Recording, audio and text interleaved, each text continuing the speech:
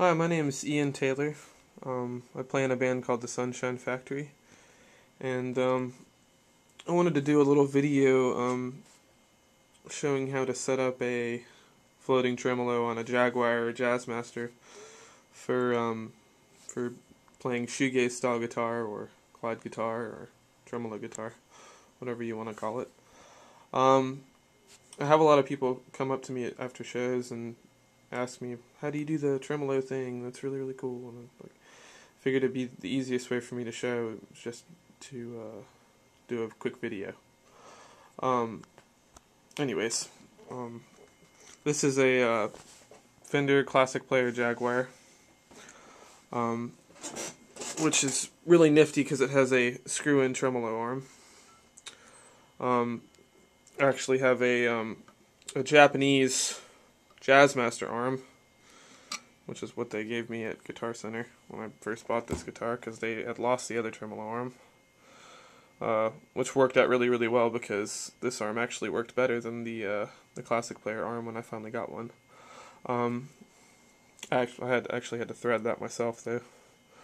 Um, anyways, uh, this guitar, this particular guitar is really nifty because the arm can screw in, so you don't have any problems with it falling out on stage. And it also makes it easier because you can adjust how deep it goes into the body um, you know, which is perfect for setting a guitar up for this kind of playing style.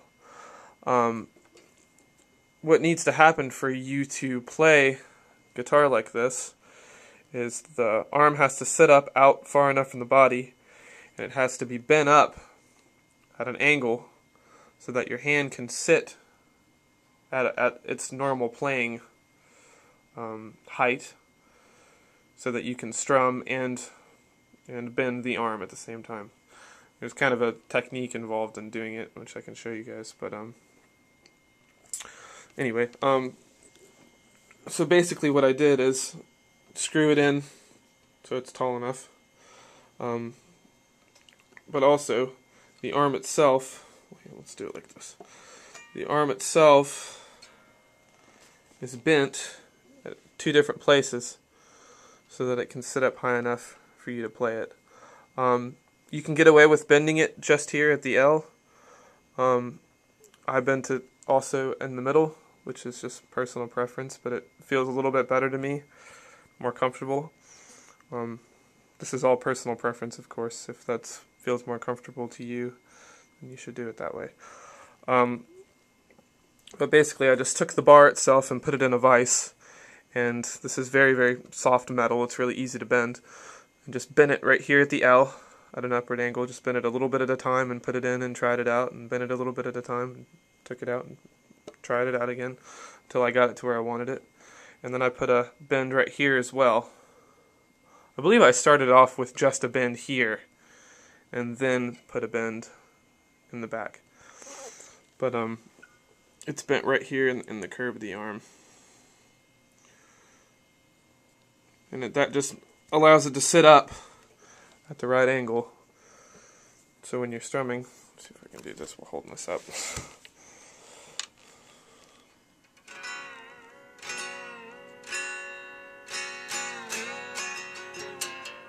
We'll have a pick, but you get the idea. Um, it allows it to sit up at the right angle so you can strum and and bend notes at the same time. Um, the other thing to making this work is your uh, tremolo spring tension. It has to be loose enough so that it flows smoothly whenever you push push the arm down. Um, and you do that just by turning, getting a screwdriver and turning this to the left, and then tuning your strings back up, and slowly dropping the tension on the spring that's inside here until it feels right to you. Otherwise, if the spring is too tight when you try to play, it'll seem kind of jerky and won't flow as nicely as you might want it to. Some people might prefer it tighter. I like it like this. Um, anyways, yeah, that's that's pretty much it. All, all that's all that's involved in getting it to sit in the right place. Um, as far as the hand technique goes, all I'm basically do is just palm, palm down like this while I'm strumming.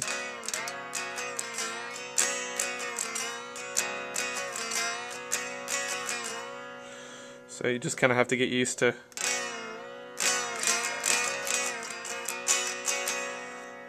bringing your palm in and out like that, kind of at the wrist. Um, yeah, it takes a little getting used to, but it's not not too troublesome. Um, but yeah, that's pretty much it. Um, oh, a couple more things. Um, if you're planning on getting a guitar like this, um, a couple of things to look out for when you're trying to get one with the right tremolo system in it is the spring uh, itself you have to make sure that this usually from what I've from my experience the only ones that are really worth worth a crap are the uh, the Fender models. All all the other ones are just kind of uh, jankety in one way or another.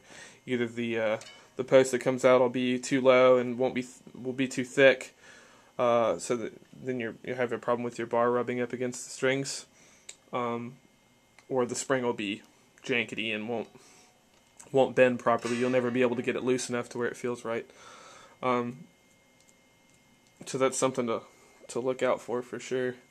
Um, the other thing is is that if you're using a, a, tremolo that doesn't have the screw in on it, um, which I highly recommend. I think you can buy them on eBay. You just have to type in Fender Mexican uh, Jazzmaster tremolo or Jaguar tremolo, and you can get one.